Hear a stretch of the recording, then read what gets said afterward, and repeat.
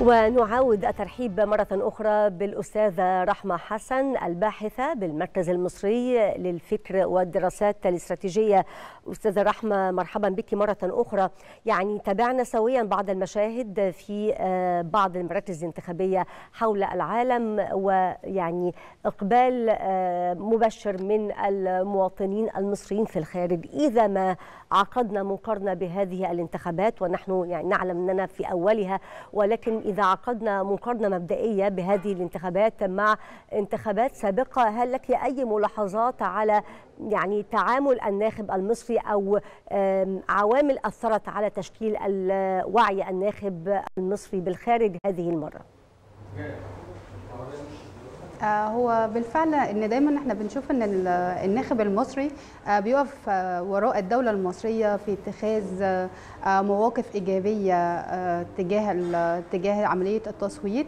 فإحنا شفنا أكبر مشاركة للناخبين المصريين في الخارج عام 2014 وده كان العام اللي كان بيتم فيه اختيار الرئيس السيسي لأول مرة وده بعد فترة حكم الإخوان وانعكس الأمر على تلبية المصريين بالخارج للنداء الوطني والمشاركة الإيجابية في عملية التصويت.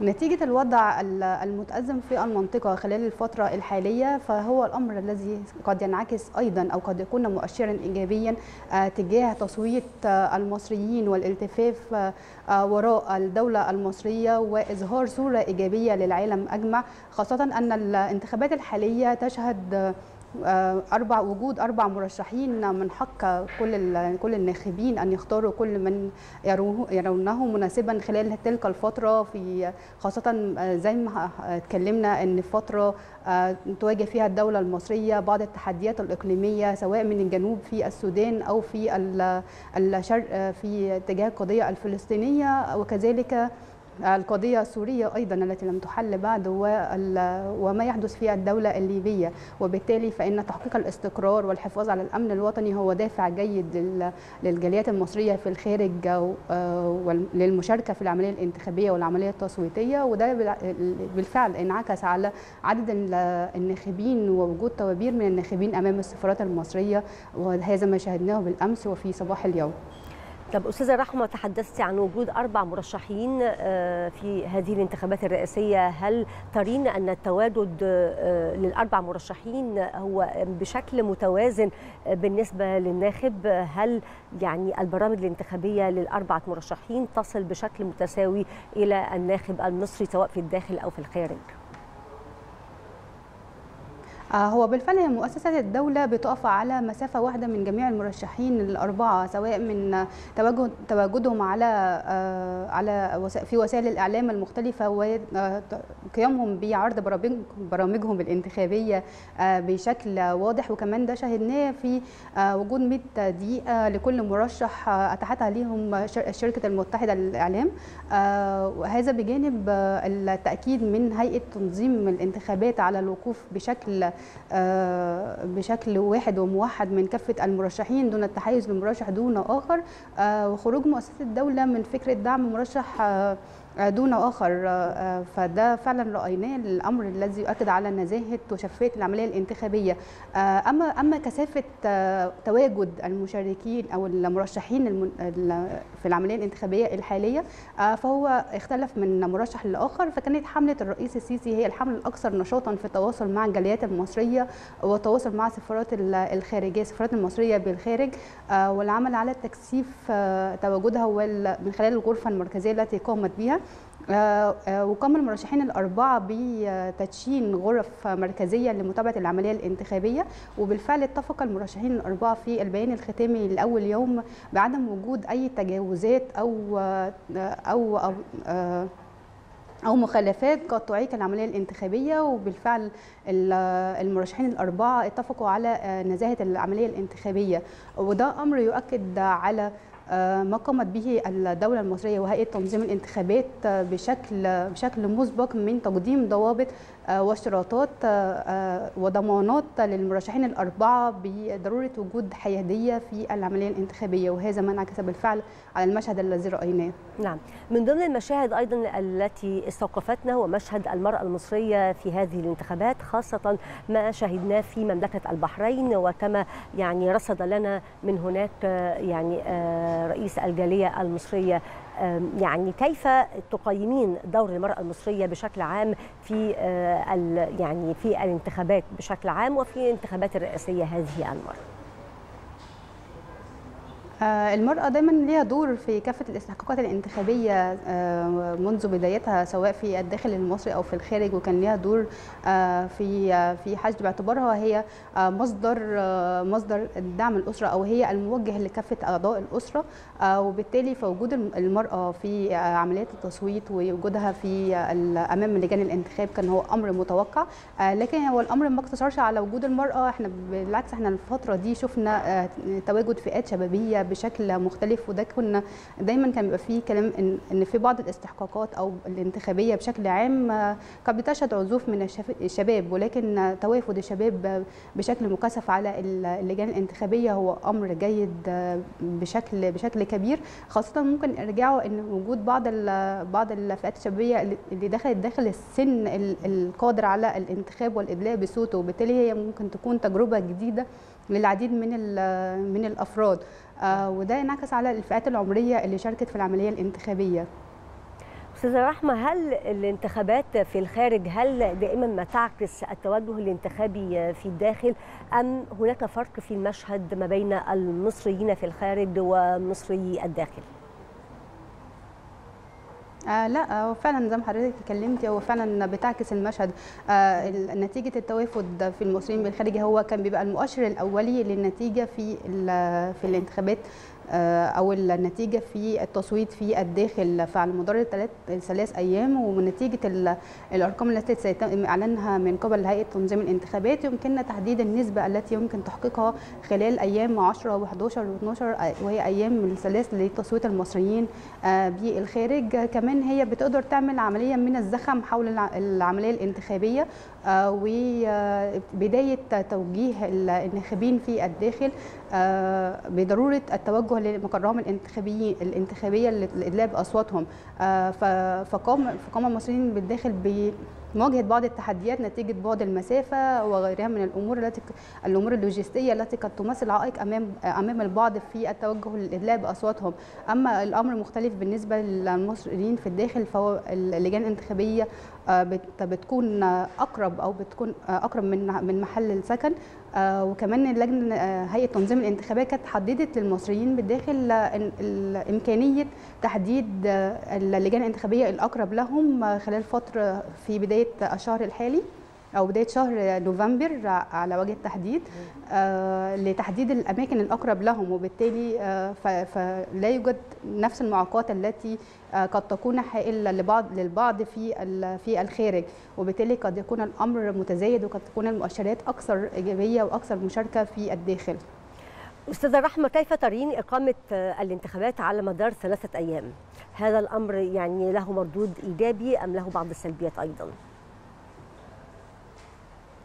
هو بالعكس هو فكرة إن وجود ثلاث أيام دي أمر سواء للمصريين بالخارج لأن نتيجة اختلاف أيام الإجازات بالنسبة للمصريين آه فوجود الجمعة والسبت والحد فهي أيام أحيانا بتبقى آه نص يوم عمل أو يوم عمل كامل للبعض وأيام إجازات للبعض الآخر وبالتالي اتاحت الفرصة الأكبر للجاليات المصرية في الفرصة بالوصول إلى المقر الانتخابي والادلاء بالعملية باصواتهم والمشاركة في العملية الانتخابية وبالتالي فهو أمر مستحسن ولكن الأمر قد لا يكون في التصوير الإعلامي قد يكون بنفس الكثافة التي قد تكون عندما عندما تم تحديد أيام أقل نتيجة التكاثف أو الحشد في في نفس اليوم. وبالتالي فإن اتساع عدد مقرات الانتخابية ووصولها إلى 137 مقر انتخابي وفي 120 دولة والانتخابات على مدار ثلاث أيام هو أمر إيجابي نسبيا للتسهيل على المواطنين للمشاركة في العملية الانتخابية.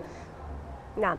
أستاذة رحمة ذكرتي يعني منذ قليل أن مسألة الحرب على غزة وما يحدث الآن في المنطقة كان له أثر كبير على تشكيل وعي الناخب المصري.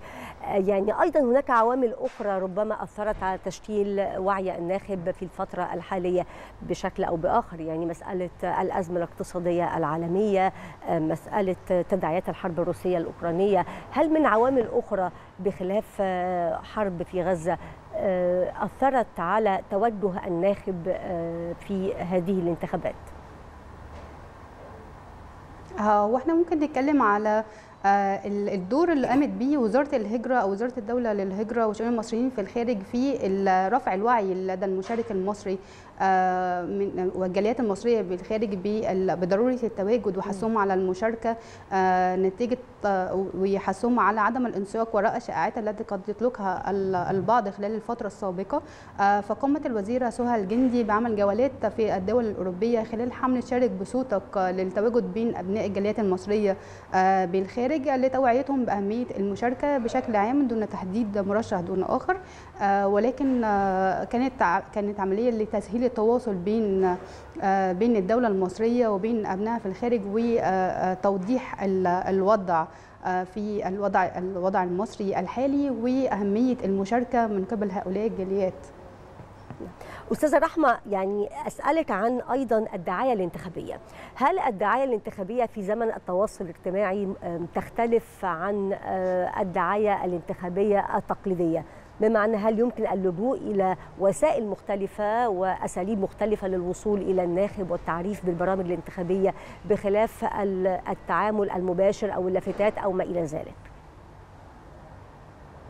هو بالفعل اثرت أثر وجود مواقع التواصل الاجتماعي على التواصل بين المرشحين الأربعة وبين الناخبين المحتملين. فكل كل حملة رئاسية وكل مرشح رئاسي أصبح له صفحة على مواقع التواصل الاجتماعيه المختلفة. وزي حضرتك عارفة إن مواقع التواصل الاجتماعي بتختلف من من الاهتمام من بعض من بعض المصريين أو بعض المهتمين إلى آخر سواء الشباب أو أو الأكثر أو الأكبر سنا. وكذلك بعض الدول فهنجد أن الفيسبوك مهم في الدولة المصرية بينما موقع إكس تويتر سابقا مهم في دول الخليج والإنستجرام مهم بالنسبة للشباب. وبالتالي تواجد المرشحين على المنصات المختلفة لمواقع التواصل الاجتماعي والنشر المكثف بالشكل الدوري واختيار التوقيتات المناسبة لنشر تلك لنشر تلك البرامج الانتخابية أو الدعاية الانتخابية أو محتوى كل حملة انتخابية ونشاطاتها ساهم في الوصول لعدد كبير من من الجاليات بشكل سهل وموثق. كمان كان في تنوع في في المحتوى الذي يقدمه كل كل مرشح سواء من خلال الإنفوجراف أو أو المنشورات العادية أو البيانات وكذلك بعض الفيديوهات. كمان كان تواجد المرشحين على وسائل وسائل الإعلام التقليدية تم رفعه على مواقع التواصل الاجتماعي للوصول إلى عدد أكبر من المتابعين. آه وده كلها أمور ساهمت في آه زيادة العملية الانتخابية. إحنا كمان عارفين إن اللافتات آه والإعلانات الخارجية وإعلانات الطرق مفيدة في حالة التصويت في التصويت الداخلي. أما التصويت الخارجي فهو يعتمد أكثر على التواجد في وسائل الإعلام التقليدي أو وسائل الإعلام والتلفزيون وكذلك وسائل التواصل الاجتماعي أو الإعلام الجديد. طبعا هذه نقاط مهمة جدا أستاذة رحمة وتؤخذ في الاعتبار أيضا في يعني هذه المرحلة انتخابات المصريين في الداخل. الوصول إلى كافة طوائف المجتمع ده أمر مهم واستخدام وسائل التواصل الحديثة أصبح يعني أمر مهم للغاية. يعني هل برأيك أنه يعني الحملات الانتخابية للأربعة مرشحين تأخذ في الاعتبار ما ذكرتيه الآن وهو أمر في غاية الأهمية. آه بالظبط يا فندم. هو إحنا كمان ممكن نتكلم على آه نسبة أو مؤيدي كل حملة انتخابية. آه فنجد أن الحملة الانتخابية للمرشح الرئيسي السيسي هي الأكثر تأييدا من عدد من الأحزاب المصرية سواء حزب مستقبل وطن حزب حماة وطن. آه تحالف الأحزاب المصرية وغيرها من الأحزاب التي لها تواجد فعلي وشعبي على الأرض. وبالتالي فانتشار اللافتات أو الدعاية الانتخابية فهو آه محتمل ومتوقع نتيجة عدد الأحزاب المؤيدة للمرشح السيسي بالرغم من إعلان الحملة على عن استقبال التبرعات لصالح القضية الفلسطينية وهذا ما فعلته بالفعل وشفنا المستشار محمود فوزي ومؤتمر الصحفي من من رفح. أما بالنسبة لمرشح حازم عمر فكان مرشح حزب الشعب الجمهوري وهو ثاني أكبر كتلة تصويتية كتلة برلمانية. فبالفعل كان له تواجد ولكن نتيجة وجود هو حزب واحد بس ف التواجد كان أكثر على على مستوى الإعلام أو اللقاءات الإعلامية التي قام بها المرشح حازم عمر بالفعل وبعض اللافتات في الداخل.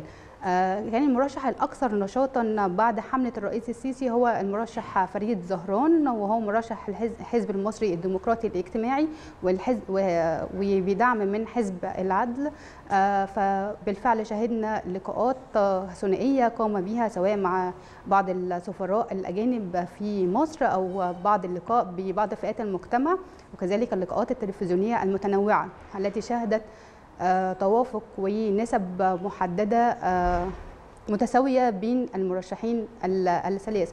وكذلك مرشح حزب الوفد عبد امام مرشح حزب الوفد من الأحزاب التي لها قواعد جماهيرية. وبالتالي اعتمدت حملته على قيام بعض المؤتمرات المؤتمرات والندوات في في المجتمع للوصول إلى أعداد أكبر. ولو اتكلمنا عن المؤتمرات والندوات هو كان حزب حزب الوفد وحزب المصري الديمقراطي هو الأحزاب التي لها عدد كبير من المؤتمرات التنظيمية في العديد من المحافظات واهتم فريد زهران أكثر بالمحافظات الجنوبية. أما المرشح حازم عمر فأعلن عن وجود أربع أربع مؤتمرات قامت بتنظيمها الحملة خلال الفترة القادمة خلال الفترة السابقة قام بتنظيم مؤتمرين ومن المتوقع أن يقوم بتنظيم مؤتمرين آخرين قبل فترة الصمت الانتخابي في الداخل. نعم. على العموم كل هذا الزخم بيصب في صالح المواطن وصالح الناخب المصري أنا بشكر حضرتك جزيل الشكر أستاذة رحمة حسن على يعني تواجدك معنا وعلى كل هذه المعلومات الأستاذة رحمة حسن الباحثة بالمركز المصري للفكر والدراسات الاستراتيجية.